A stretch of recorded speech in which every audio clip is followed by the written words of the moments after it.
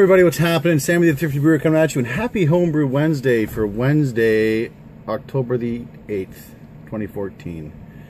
October the 8th. Holy crap. This It's fall here in Muskoka. It was a balmy 10 degrees today, Celsius. Not Fahrenheit. For my American friends, Joe. That's for you, brother. A little chilly, so I had to turn the heat on actually in the house last weekend because uh, it was uh, 7. Whew. Burr, burr, burr. And so, a better way to celebrate autumn than with a little pumpkin ale. A little bit of my exploding balls. Color is awesome, and you know, I'll tell you what I did with it in a second after I take a sippy poo.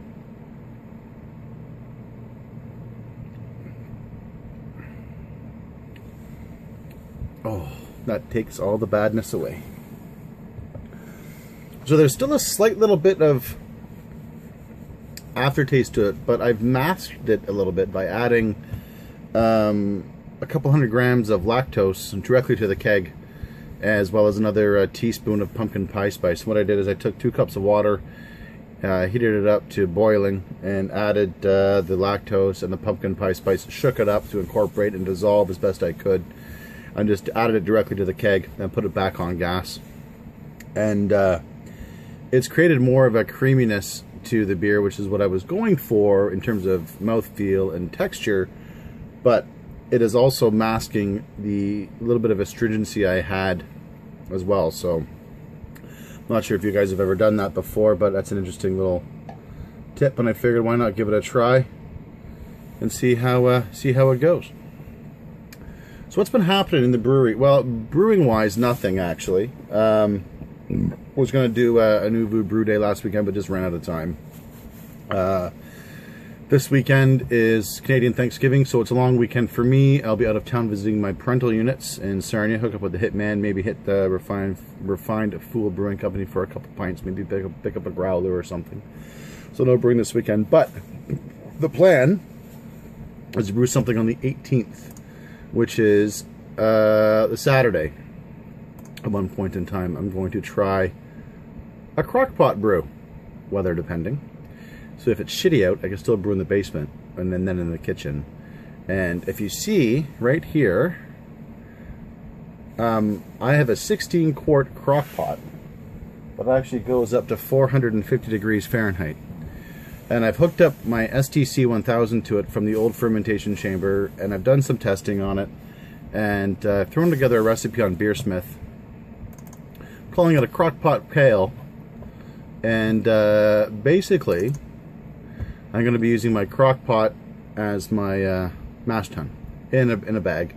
Now, I'm not taking credit for this. I know Gash has got a wicked video on it um, where he does a comparison with one of his crock pot beers versus one of his beers on his uh, on his three-tier system, or three-vessel system, sorry, and go check it out. I'll see if I can find the link and post it down below if I can, but it's really sweet. And I think it's going to give me a really interesting option for brewing and doing some really cool small batches and test batches um, when it's like minus 20, minus 30 outside, and I'll still be able to do the all grain, which is really neat. And I've gotten the okay from Mrs. Thrifty, so thumbs up for that. So cheers to Mrs. Thrifty. Cheers to you, Gash. And cheers to Crockpot Brewing and being resourceful, because that's what we are as home brewers. Resourceful. So cheers to you guys.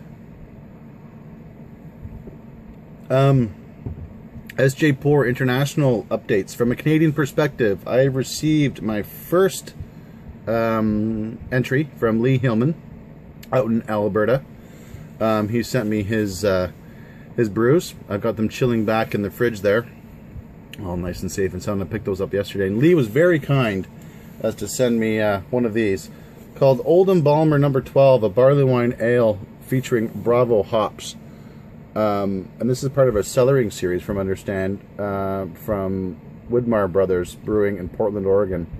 And this apparently is from 2000, July bottle, July 18, 2012. So um, I have no idea what the AB, oh, sorry. Yeah, 10.2 ABV.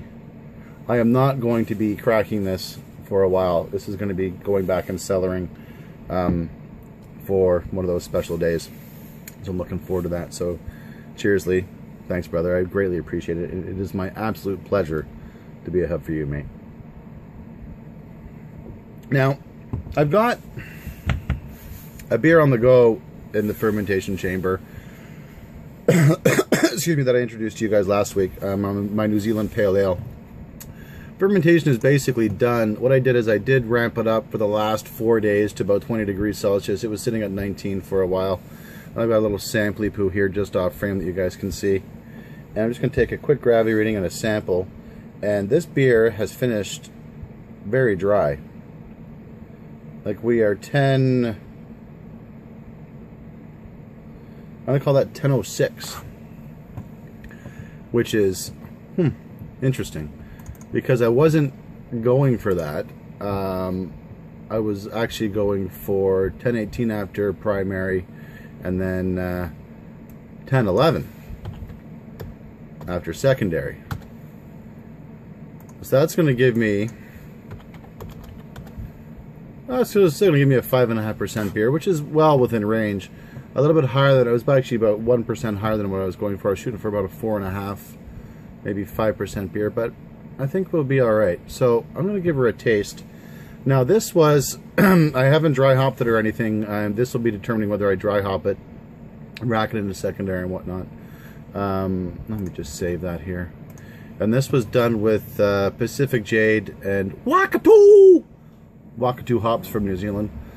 Uh, now, from what I understand, Wakatu is essentially like a Hallertau aroma hop. Um, with a um, 53.2 IBUs. So actually estimated ABV on this, sorry, was was six. Sorry, my mistake looking at the uh, looking at this. So five and a half is quite respectable. So let me just get rid of that. We'll give her a taste. So color is, eh, looking at Beersmith, color is basically bang on. Still very cloudy. It's still somewhat active. But it's interesting. I've never used Pacific Jade or Waka Wakatu hops before. So cheers, you guys. And here's to home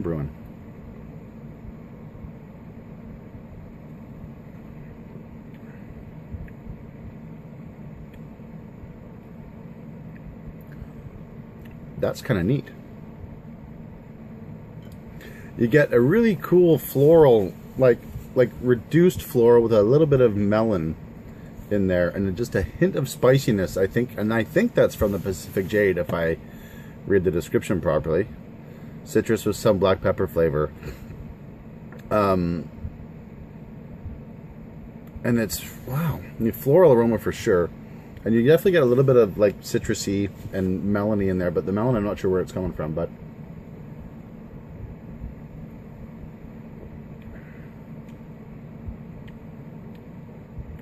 Huh. Pour it in a glass, do it up properly.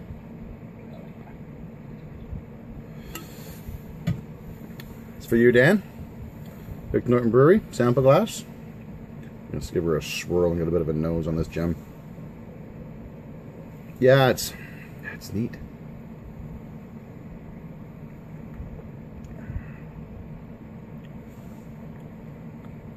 They're not crazy like punchy in the face hops. But that wasn't what I was going for. I was actually going for like a nice sessionable easy drinking beer, but at five and a half percent it's gonna be a little bit more than sessionable, but hmm. That'll work. I'm not going to dry hop it. I'm going to leave it as it is. I'm going to rack it into secondary, let it clear. But I may keg it because I want to give another big thanks out, uh, shout out to the Hitman, Nick from Hitman's Brewhouse.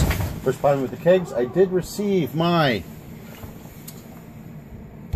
ball lock conversion kit.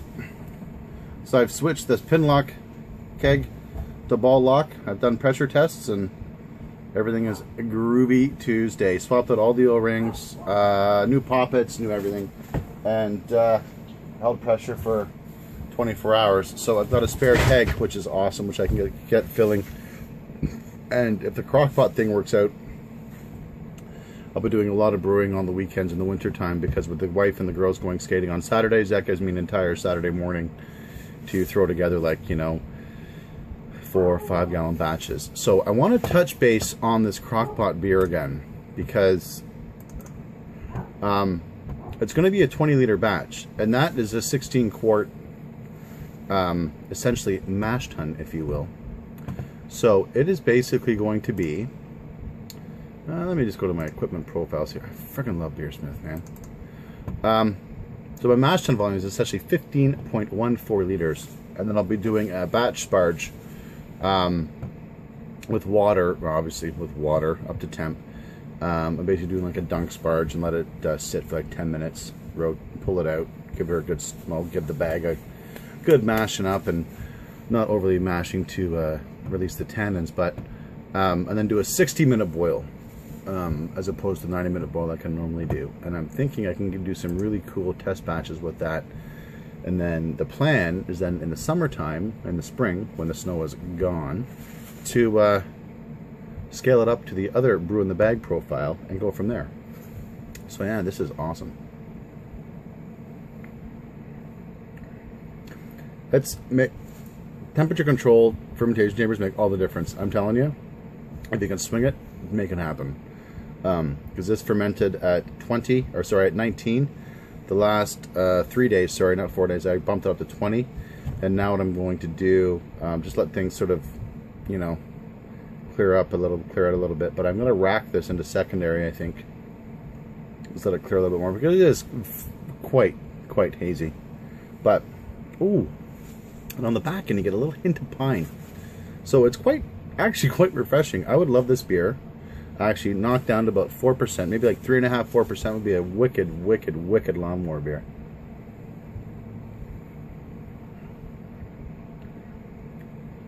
Hmm.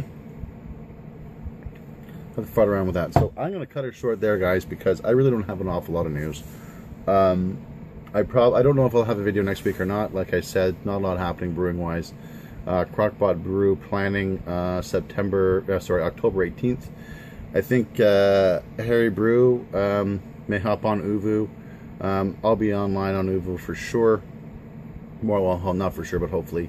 And uh, I think Nick from Hitman's Brew is going to be there. Hopefully, uh, new to Homebrew Tom will be there. Um, as you know, when we tend to get together, things tend to get a little crazy. You know, people put vegetables on their nose, and I didn't show the footage of vegetables going in other places. Like the refrigerator. What were you thinking? Sick bastards. Anyways, thanks again, Lee, for this beer. I'm going to cellar this for quite a while, brother. I'm so looking forward to that. Uh, I know Rob has sent out his beers to me. Um, just waiting for those to arrive, Rob. Hopefully Friday. If not, it'll be Monday or Tuesday. It'll be Tuesday, but when I get them. And I know that uh, Mike McNabb, third entrant, is going to be dropping off his beers to my house on Saturday, which means I'll be boxing them up, send them out internationally, and then the next leg starts. So, uh, you know, barring a customs fiasco or, you know, the beer gods crushing three boxes, Canada's beers should hopefully be in the mail uh, or on courier uh, middle to late next week. So, very excited. So, guys, this is Sammy the Thrifty Brewer saying, if you're going to do something, do it with some home brews. And if you can't decide to drink one, drink the one with the smallest amount first.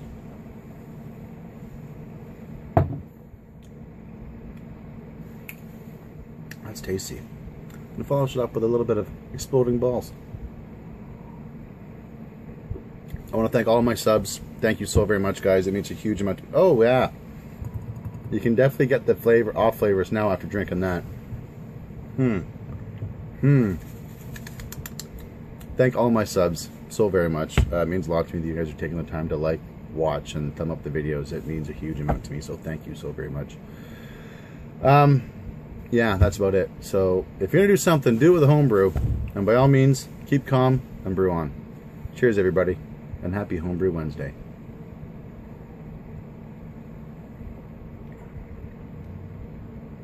Huh. Take care. Cheers. All the best.